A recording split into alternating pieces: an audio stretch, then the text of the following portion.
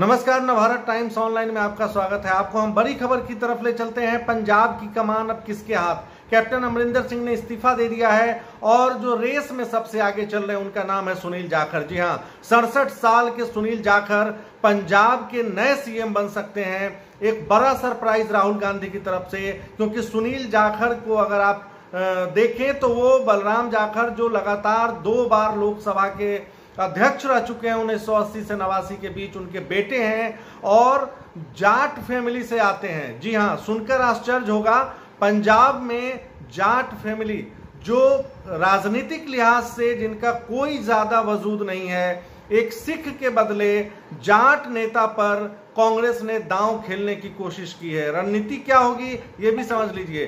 कांग्रेस का प्रदेश अध्यक्ष सिख होगा, नवजोत सिंह सिद्धू, और सरकार की कमान किसके हाथ में होगी? एक जाट नेता के हाथ में। और सुनील जाखर पार्टी से बहुत ही क्लोजली एसोसिएटेड रहे हैं।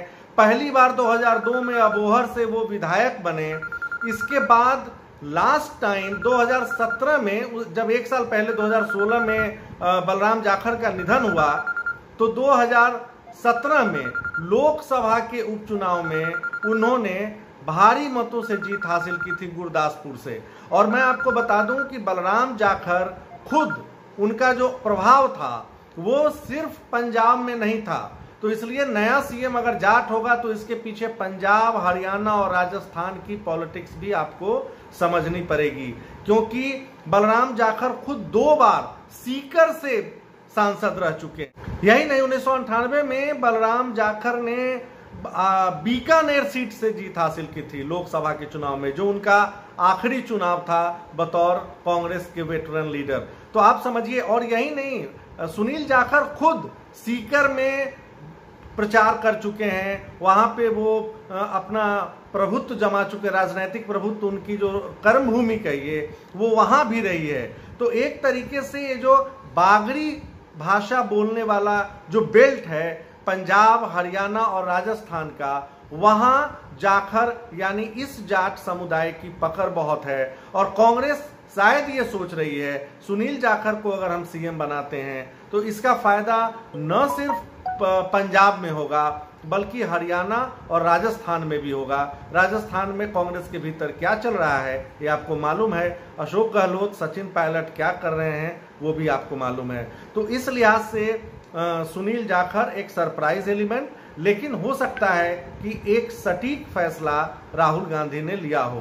बट ये डिपेंड इस पर करता है कि अमरिंदर सिंह के साथ कितने विधायक हैं जो बागी होने को तैयार हैं और सुनील जाखर क्या उस संकट को मैनेज कर पाएँगे। तो आपको बताऊँ उनके पास जो अनुभव है 2002 में वो अबोहर से पहली बार चुने गए थे।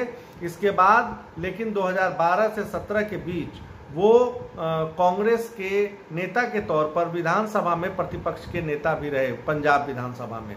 तो उस लिहाज से राहुल गांधी ब्रिगेड के माने जाते हैं। तो एक जो सबसे बड़ा प्लस फैक्टर है, क्योंकि तो अभी सारे फैसले कांग्रेस के सामान्य कार्यकर्ता राहुल गांधी ले रहे हैं। जी हाँ सामान्य कार्यकर्ता आप समझ गए होंगे, क्योंकि राहुल गांधी न कार्यकारी अध्यक्ष हैं, न फुल टाइम अध्यक्ष हैं। वो अपने को सामान्य कार्यकर्ता बताते हैं, लेकिन फैसले खुद लेते हैं। इसी तरह बलराम जाखर, इंदिरा गांधी की बहुत करीबी वो रहे। और दो बार, जैसा मैंने बताया, लोकसभा के अध्यक्ष रहे, फिर नरसिम्हा राव सरकार में वो कृषि मंत्री भी रहे। इसके बाद मध्य प्रदेश में वो गवर्नर भी रहे। तो अब ये दिलचस्प है आने वाले समय में पंजाब की पॉलिटिक्स किस तरफ़ मोड़ लेती है? भाजपा की तरह जो खेल ये कांग्रेस ने खेलने की कोशिश की है जैसे खट्टर को एक खतरी पंजाबी कम्युनिटी को जाट लैंड में सीएम बना दिया कांग्रेस ने।